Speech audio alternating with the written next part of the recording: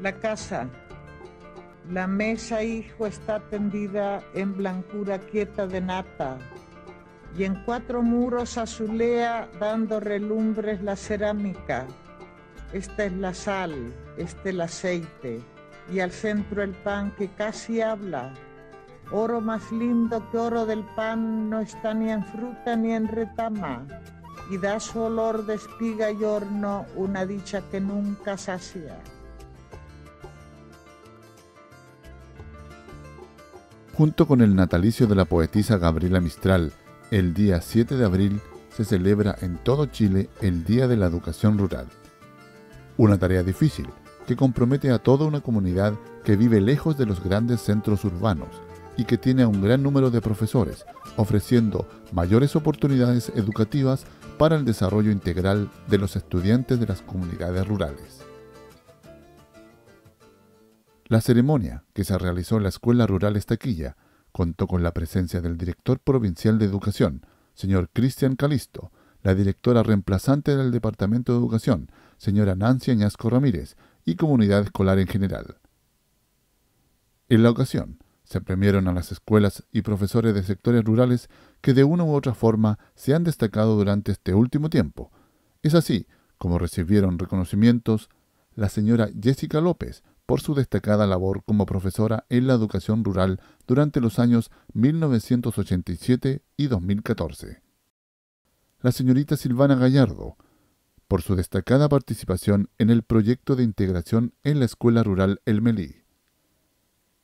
A su destacada participación en el primer encuentro regional de ciencias Megacientíficos Explora CONICIC 2014, a la Escuela Rural Cululil, reconocimiento que recibió su directora, la señora Sofía Madrid. A la Escuela El Melí, por su participación y colaboración en las actividades deportivas de la comuna, reconocimiento que recibió su directora, la señora Mirta Muñoz. A la Escuela Rural Cañitas, por su excelente resultado en el CIMSE del cuarto año básico en el año 2013, reconocimiento recibido por su directora, la señora Rosa Pérez. Cristian Calisto, director provincial de Educación, se refirió así a esta celebración. Es muy gratificante y por otro lado también reconocer el esfuerzo, el ejemplo que dan nuestros profesores rurales día a día y eso hace que nuestro país crezca mucho más y decir también que la calidad de la educación rural es, es tan buena o incluso mejor que muchas escuelas particulares pagadas de Santiago o de las comunas más ricas de nuestro país. Por tanto, es un motivo de celebración y de orgullo.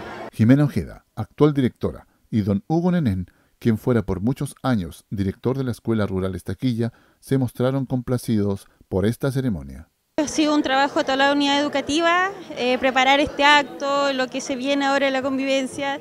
Eh, fueron todas las instancias, todos los estamentos que estuvieron para poder recibir a los colegas y celebrarlo eh, lo más bonito posible.